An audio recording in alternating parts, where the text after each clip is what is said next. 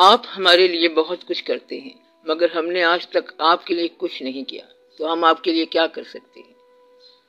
میرے لیے آپ ایک کام یہ کرو کہ میرے لیے دعا کرو، اور میں بھی آپ کے لیے دعا کروں گا۔ آپ باقی سب لوگوں کے ساتھ تعلقات رکھو، اور آپ کی دعا جو ہے وہ بہت ضروری ہے۔ اور میری بات کو غور سے سنو، اور عمل کرنے والی بات پر عمل کرو۔ یاد رکھنے والی بات کو یاد رکھو، اور آگے بیان کرنے والی بات کو بیان کرو۔ بس آپ کی یہی کنٹریبیوشن بہت ہے۔ یہ عمل بہت ہے۔ میں راضی ہوں اور آپ کا یہ عمل آپ کی بڑی کنٹریبیوشن ہوگی۔ ہم آج کل کے حالات میں بندوں کو کیوں مرد الزام ٹھہراتے ہیں؟ جبکہ اس میں اللہ کی رضا اور مشیت بھی تو ہو سکتی ہے۔ مرد الزام کوئی نہیں ٹھہرا رہا۔ بس کچھ لوگ غور و فکر کرتے رہتے ہیں۔ یہ ٹھیک ہے کہ ہر بات ضرور اللہ کی طرف سے ہوتی ہے، لیکن پھر بھی انسان جائزہ لیتا رہتا ہے کہ یہ کیا واقعہ ہے۔ ہر چیز کو اللہ کے حوالے کرنے سے جو نتیجہ ہوتا ہے، تو جو صاحبان غور ہوتے ہیں، اس پر وہ غور کرتے رہتے ہیں۔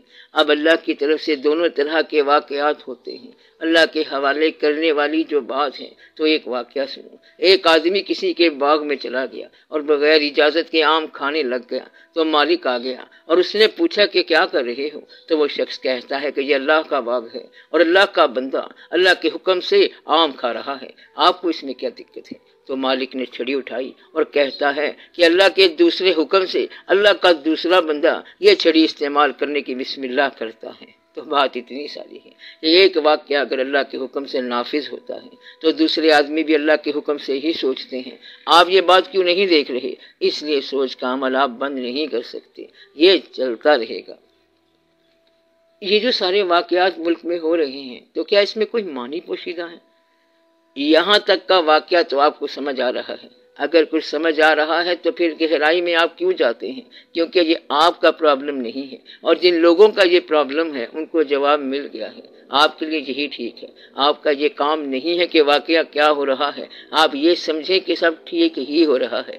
کیونکہ جو آدمی کام میں لگا ہوا ہے ڈیوٹی پر جاتا ہے، سوتا ہے، نماز پڑھتا ہے، وہ اتنا مصروف ہے۔ اس کے لیے تو واقعہ کوئی نہیں ہے۔ واقعہ تو ان لوگوں کے لیے ہے، جن کے پاس وقت ہے۔ دعا کرنے کا وقت ہے۔ یا یہ ان کی ڈیوٹی ہے۔ آپ کے لیے یہ واقعہ نہیں ہے۔ سر، یہ جو اس وقت ملک کی صورتحال ہے، یہ جزا کی ہے یا سزا کی ہے؟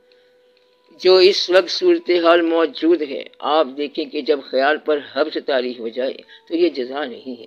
آج خیال پر بوجھ پڑ گیا ہے۔ غالباً اعمال جو ہے، ان کا نتیجہ نکل رہا ہے۔ آج آپ کو دوسرے کے عمل سے پریشانی نہیں ہو رہی ہے، بلکہ اپنے اعمال ہی اس قابل نہیں ہیں بات سختی کی طرف جا رہی ہے کہ اپنے اعمال بھی اچھے نہیں، اور کوئی آدمی بھی نہیں جس کو یہ موقع ملے کہ وہ اس کے علاوہ بھی بات کرے۔ آج کل کے حالات کا مقام ہی ایسا ہے یعنی لالچ کا اور طاقت کا مقام ہے۔ اور ایسے لوگ ہمیشہ ہی ایسے ہی کرتے ہیں۔ اور ایسے لوگ ہمیشہ ایسے ہی کرتے ہیں۔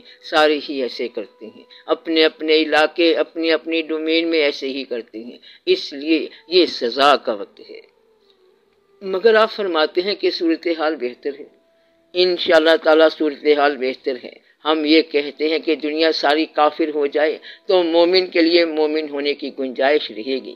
اس دنیا میں کوئی بھی خدا کو نہ مانے تو کچھ لوگ خدا کو مانتے رہیں گے۔ اچھے آدمی کے لیے ہر وقت اچھا ہے اور برے آدمی کے لیے کوئی وقت بھی اچھا نہیں ہے۔ بس آپ نے خود اچھا ہونا ہے۔ ان شاء اللہ تعالیٰ وقت ہمیشہ ہی اچھا رہے گا۔ یہ آپ کی وقت کے ساتھ ٹوٹل انوالومنٹ ہے۔ وقت کے ساتھ کل معاملہ ہے۔ اور آپ کی جواب دہی انفرادی ہے۔ تو آپ اپنی ذاتی زندگی انفرادی طور پر دیکھیں کہ کیا ہے۔ آج کل جھوٹ اور ظلم سے کیسے لڑیں؟ آپ دیکھو کہ جہاں جھوٹ ایگزسٹ نہیں کرتا، وہاں ہر انسان اپنے جھوٹ سے خود بچتا ہے۔ انسان میں اصلاح کی ہمیشہ گنجائش رہتی ہے۔ کسی نے حضور پاک صلی اللہ علیہ وسلم سے پوچھا کہ ہم دین سے کیسے محبت کریں، کتنی محبت کریں؟ اب آپ لوگ حضور پاک صلی اللہ علیہ وآلہ وسلم کا جواب سنیں آپ صلی اللہ علیہ وسلم نے فرمایا کہ آپ لوگ دین سے اتنی محبت کرو، جتنی دنیا دار کو دنیا سے محبت ہے، کہ وہ دنیا حاصل کرنے کا کوئی موقع نہیں چھوڑتا۔ تو تم بھی کوئی دین حاصل حاصل کرنے کا موقع نہ چھوڑو۔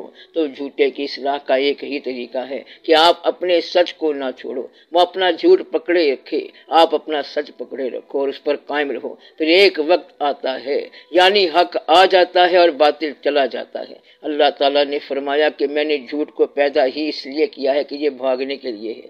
سچا بن کر آپ کسی ماحول میں چلے جاؤ تو جھوٹ ٹھہر نہیں سکتا۔ تو جھوٹ کو ڈیل کرنے کا ایک ہی طریقہ ہے کہ اسے سچ سے نکال دیا جائے۔ جھوٹ کو جھوٹ نہیں نکال سکتا۔ اس لیے جو آپ لوگ کرتے ہیں، اس لیے جو آپ لوگ کرتے ہیں وہ تو غلط ہے یہاں تو جھوٹ کو سچ کر دیا جاتا ہے۔ تو آپ جہاں بھی جائیں، بس سچا بن کر جائیں۔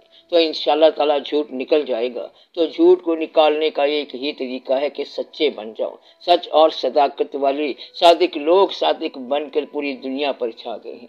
صداقت گواہی ہے، کسی اور طریقے کی بات نہیں ہے، بلکہ صرف صادق کی بات ہے۔ جو طاقت سچ کو پیدا کرتی ہے، وہ طاقت باطل کو بھی پیدا کر دیتی ہے۔ یہ آپ کا کام نہیں ہے۔ جس نے سورج بنا کے کائنات کو چلانا ہے، اس نے آپ کی نگاہ پہلے بنائی ہے اور سورج کو بعد میں بنایا ہے۔ اب وہ روشنی خود بخود نظر آ رہی ہے۔ نہ اس کا کوئی ثبوت ہے اور نہ فارمولہ ہے۔ آنکھ کے ساتھ نظر لگا کے نظارے بنانے والا لطف لے رہا ہے۔ تو نظارے بعد میں بنائے، پہلے نظر بنا دی۔ اس لیے صداقت کو پہچاننے کے لیے آپ کے پاس صداقت کا شعور آ جائے گا۔ اور یہ شعور موجود ہے۔ اب صداقت کا آغاز ہو رہا ہے۔ جو کچھ آپ کر رہے ہیں، آپ کو جو پریشانی ہے، یہ جو صداقت دیکھنے کی تمنا پیدا ہو گئی ہے، یہ جو حالات کو بہتر دیکھنے کی تمنا پیدا پیدا ہو گئی ہے۔ یہ جو کنفیوژن دور کرنے کی خواہش پیدا ہو گئی ہے، یہی تو صداقت کا آغاز ہے۔ پھر جب وہ واقعہ ہو جاتا ہے تو قرار آ جاتا ہے۔ اب یہ جو بے چینی پیدا ہو رہی ہے، اس کا حل نکل آئے گا۔ اور انشاءاللہ تعالی یہ سب ٹھیک ہو جائے گا۔